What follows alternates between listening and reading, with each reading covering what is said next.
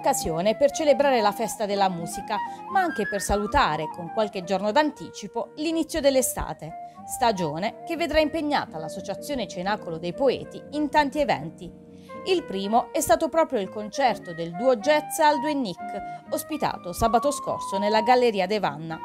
Particolare il genere seguito alla chitarra da Niccolò Fanelli e al flauto da Aldo Di Caterino. Vi faremo ascoltare brani originali e brani tipici della sonorità bossa nova. Un repertorio che i due maestri eseguono da ormai un decennio. La nostra collaborazione, nata addirittura fra i banchi di scuola, ci ha portato oggi a, essere, a conservare una forte affinità e mm, diciamo, ci, ci, capiamo al volo quando suoniamo. L'evento, dedicato alla memoria di Mino De Vanna, è stato organizzato dal presidente Nicola Bondanza grazie anche alla collaborazione della Galleria, diretta dall'architetto Claudia Calabria. Abbiamo voluto eh, ospitare questo evento eh, sia per dare un segno proprio della partecipazione a, eh, una, a un evento, insomma alla festa della musica che comunque è patrocinata e promossa proprio dal Ministero della Cultura eh, e anche per dare un'occasione in più eh, di eh, fare un passaggio all'interno della galleria e quindi magari anche per chi non conoscesse il, il nostro museo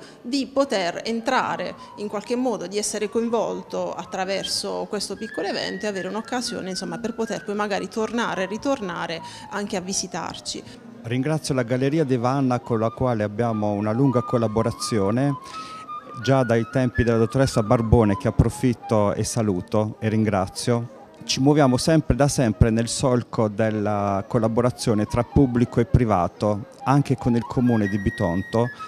Infatti stiamo preparando il bando estivo un lascito dell'assessore Mangini, persona illuminata e innovativa, che lascia un grande lascito alla comunità di Bitonto. Presente in prima fila anche il neoeletto sindaco Francesco Paolo Ricci.